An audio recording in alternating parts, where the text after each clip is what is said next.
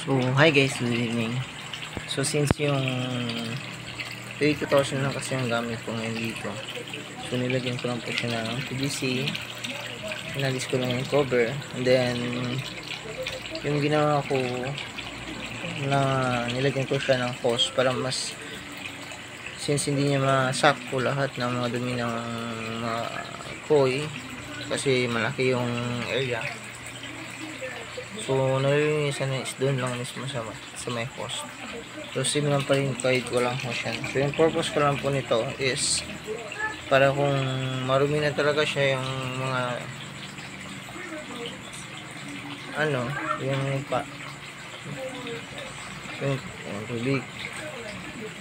Marami na talaga siyang dumi ng mga isda is ginagawa ko is ito na lang mismo host yung gagamitin ko panglinis niya.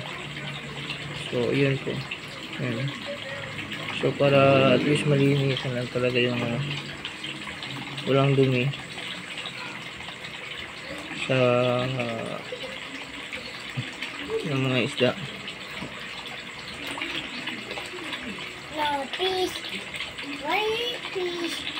Why, uh, why, please? Ha?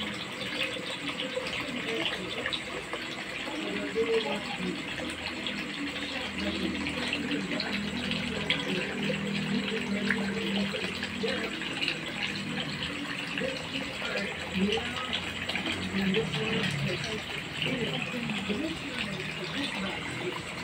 please.